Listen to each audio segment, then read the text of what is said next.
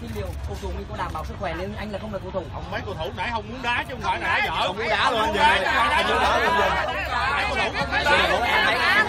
em em theo bóng là lúc này em theo bóng anh. Em đi từ bắc ra nam luôn anh ạ ở đây biết chơi đá banh hết trên đây. Tao Chắc banh mày mới xíu à. em yêu nổi nổi mà em đi ra tới. Bắc là đi nam anh cái đó cái đó cái đó cái đó nó không đúng em đảm bảo cái chuyện đó và em biết rằng là lấy được khán giả đâu phải là là là là, là dễ đâu. Rồi vô tay vô tay vô tay em em lấy được lòng khán giả rất khó. Quan và nếu nếu nếu như mà em không vì khán giả thì em không sang đây.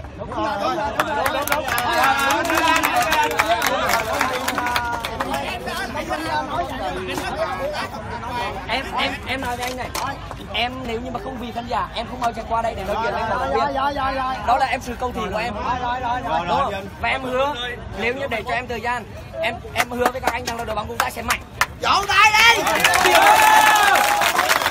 ai mà không nha ai mà công nhân ai mà công nhân ai mà công nhân ai mà công nhân ai mà công nhân em hứa với tất cả các giả này nếu như năm tới đội bóng mình không mạnh. Em sẽ không làm cho thành phố hồ chí minh nữa. Thôi em vô đá đi.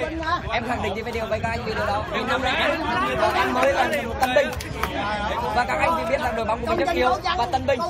nhưng mà năm sau nếu như đội bóng mình không có những cầu thủ tốt nhất và không phải là tốt nhất thì chúng ta khán giả có thể quay lưng với đội bóng. Nhưng em nghĩ rằng là lúc này các anh mọi người hãy đã ủng hộ em rồi thì phải ủng hộ đội bóng. Em mà vô đá là khán giả không quay lưng. nhưng em em hứa em hứa rằng em sẽ có những cầu thủ tốt nhất cho đội bóng Anh Vinh ơi cho lộn cái đồng hồ anh Vinh ơi. Anh Vinh ơi cho lộn cái đồng hồ. Em em cổ động viên em sang đây. Em em rất cầu thị. Em biết. Hiểu rồi hiểu rồi hiểu rồi em em em rất cầu thị.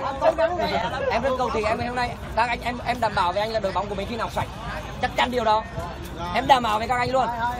Và nếu như cầu thủ nào hiệp một không đá tốt chắc chắn sẽ sẽ không bao giờ có ở trong nằm trong đội bóng này nữa em đã bảo vệ rồi điều đó.